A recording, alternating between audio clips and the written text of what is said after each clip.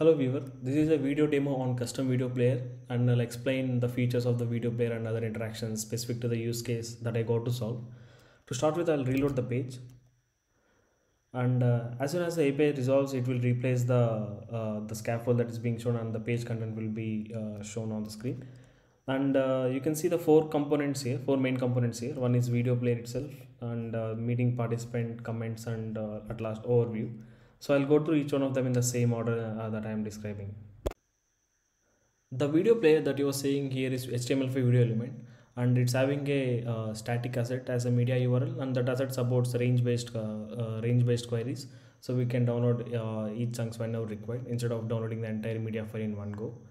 And we also did a POC in HLS uh, for HLS based video player using HLS.js so open source library uh, but we went ahead with this approach because our videos are in 720p and we don't want to upscale it to 1080p we don't want to set up the media server to with the hls uh, hl we don't want to set up the media server so it is it is uh, it seems much quicker than to deliver with hls so as hls is not being hls or dash has been not considered anymore. We haven't opted for any open source libraries like uh, video.js or jwware as we can achieve the functionalities that we want using the uh, html5 uh, video element dom apis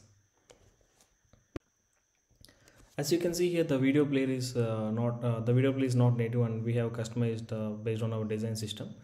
And uh, for this specific demo i blurred the video uh, using ffmpeg uh, cli tool.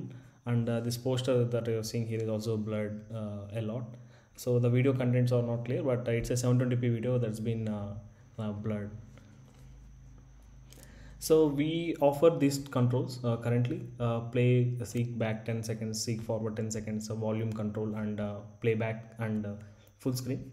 So they also have shortcuts. Uh, the initial video player will not we haven't supported any auto autoplay feature. So user has to interact with the player in order to autoplay so the initial view will be like this. Once i click on play button or click on click here or click on k mm, press k. uh, the video will start. Uh, they can use uh, shortcuts like uh, L or J to skip forward and backward. And M to toggle and unmute uh, mute the toggle. And also they can adjust the volumes. And and beside this volume uh, will show the video timeline and the entire video time. And you can user can also select the, the playback speed. Or they can press on S to cycle between the playback speeds and uh, this uh, is full screen. Uh, user can click on F uh, to enter full screen and exit full screen. We also have a use case for chapters in timeline. As you can see here uh, there is a space between this timeline and each uh, each bar represents a chapter. There are total seven chapters here. And when you hover on this timeline the chapter name will chapter name and time and along the thumbnail will be shown here and this thumbnail will be clamped to do plus uh, uh, to the left side plus 10, uh, plus 10 pixels on the left side and it won't overflow the video. Like it's clamped between this video.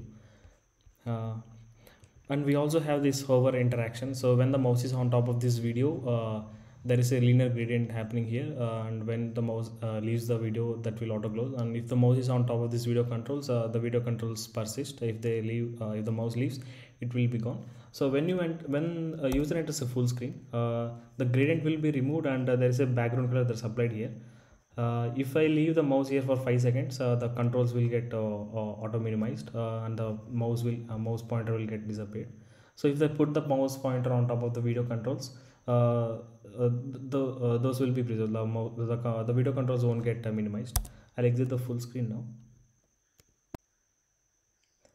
that's about the video player and uh, next we'll go to the meeting participants UI now as soon as you come to meetings participants you can see uh, there is a timeline here as well. And uh, there is a seek stick here as well. And uh, this timeline will get uh, will be in sync with the timeline of the video. And uh, you can also seek the video from here if you can go to any point of time. And the same thumbnail and time will be shown here as well. And we're also listing the meeting participants. And beside them we are listing the metrics of the meeting participant user can toggle this on and off uh, based on uh, their choice. And beneath each user uh, we are uh, showing a visualization. Uh, this represents uh, when the user has talked in the video timeline. Now i'll just show an example. If the user want to go to this particular timestamp where this user is being talked he can click on there and he can go to that specific timestamp and he can listen to the speaker who is talking and he can listen to that after this uh, we are listing topics uh, uh, based on the intelligence collected on this video. So user can uh, click on the topic uh, bars. Uh, they can jump to the timestamp of the starting of the topic.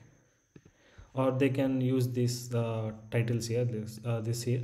They can go if there are multiple the, the topic problem here occurs in multiple timestamps at at 1 1 minute 10 seconds 7 minutes and uh, uh, 13 10 so if the if the user clicks on here it will take the first instance of the problem topic.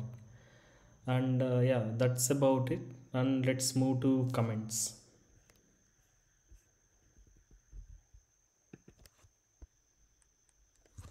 As you can already see uh, the user can comment at particular timestamp or react at a particular timestamp uh, uh, within the video and they will be shown in the timeline. Uh, our user can uh, have a quick access to the reaction uh, uh, in, just below the just below this video player. And also you can click on this for commenting there are two ways. One is by clicking on here and one is by pressing a keyboard shortcut C. When let's say the video is playing at certain point of time and if the user tries uh, if user wants to comment at this time uh, you can press so we are 13 15 we can press keyboard shortcut C. The video will pause and this timestamp will be uh, written on the submit button and user can uh, comment anything. Yeah i'll just comment and submit. And as we submit we'll just take the user we'll just scroll the user to the commit uh, commented one. And these comments are sorted in uh, ascending order of the timestamp in the video yeah um the this comment use case is specific to uh, full screen but we also have included here. But when when we click on this uh, we'll just enter we just replace the video controls with this uh, comment editor. Uh, the difference between these two is this is in light mode and this is in dark mode. It has the same behavior. Uh, this has the same behavior. And you can add this comment. Okay. and this will be evident in full screen when user enters a full screen the reactions will be shown like this. Uh, so when user clicks on this uh, it will be here. So the behavior will be same. Cancel and uh, we can also uh, let's say I want to react at this point of time. Uh, the reaction will be posted.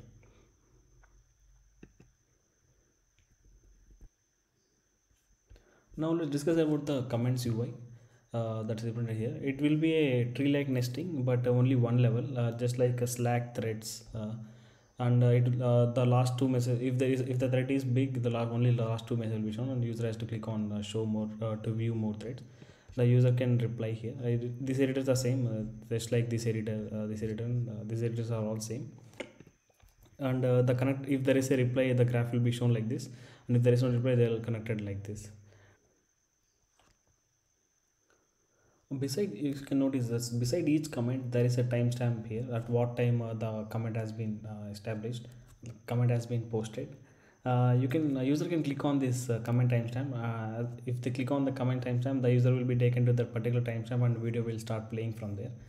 Uh, just beside every video the the timestamp will not be beside replies it will be only the parent thread. Here if they click on 1316 the video player will go to 1316 and start playing from there and all the and all the all the comment operations like uh, edit undo uh, delete uh, i'll just i'll just edit this comment. As i'm the owner I'm, i'll be able to edit. If i'm not the owner that button will be disabled. So if user edits the comment uh, the edited button will be displayed here. And also uh, user can delete the comment. And uh, if he like misdeleted it like he can undo he can undo the deletion or he can uh, the user can uh, dismiss the deletion like uh, the prompt. And uh, i'll show one behavior where uh, user can delete the parent comment and child lives on.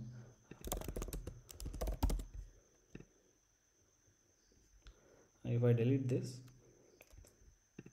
so these are the uh, ui looks like uh, this is an often like reply the, the parent is not there now. So this is how it looks now as you can see this uh, same comments and reactions and these same comments will be shown in the this timeline as well.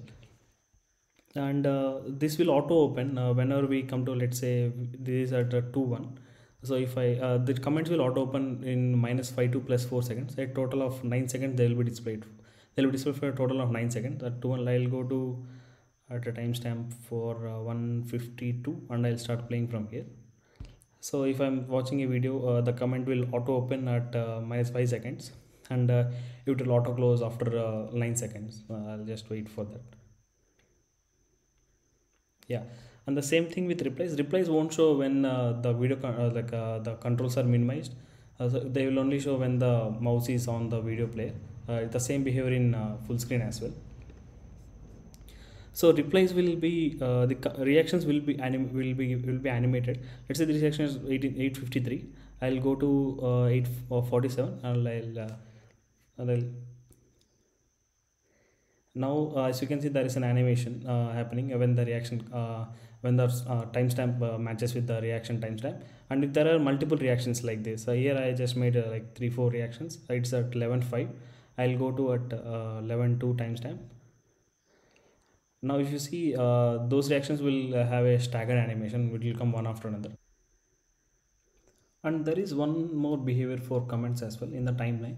So if i want to go to a specific comment i can click on i can go to this space uh, i can go to the timeline this comment and if i click on this comment uh, the right side comment pane will uh, scroll and it will highlight the specific comment that i clicked on. And the route will change to that specific comment id the same behavior is in uh, full screen as well. In full screen this right pane will not be shown. Uh, that behavior is to show the comments in full screen itself. So if i go to this comment uh, a new uh, uh, a new comment uh, screen will be shown. Uh, this is same uh, as the comment screen but this is in dark, mode. The same tree structure will get followed here. And uh, the same uh, comment uh, the same uh, if i have if i go on to one comment uh, the same comment will get highlighted uh, the comment that is selected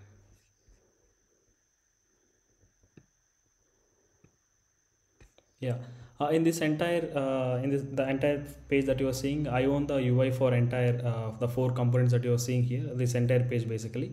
And uh, i own the backend for these comments as well. And uh, coming to the last part uh, this is the overview. This is a static content. This is generating we're using openai apis to generate this intelligence. And we, intelligence and we're sending the transcript of this file and we're getting this intelligence so this is like a dummy data i filled in for this uh, use case for this demo. Uh, user can uh, uh, uh, have this control like see the summary. If there's more than four lines they can toggle it. And the timestamp and the subjection these are all static contents that will be shown to the user. Uh, uh, that's about it. And uh, there is one more thing. If you want to see the POC that I have implemented for HLS based video player this is the open source repo. I'll uh, like pin it somewhere.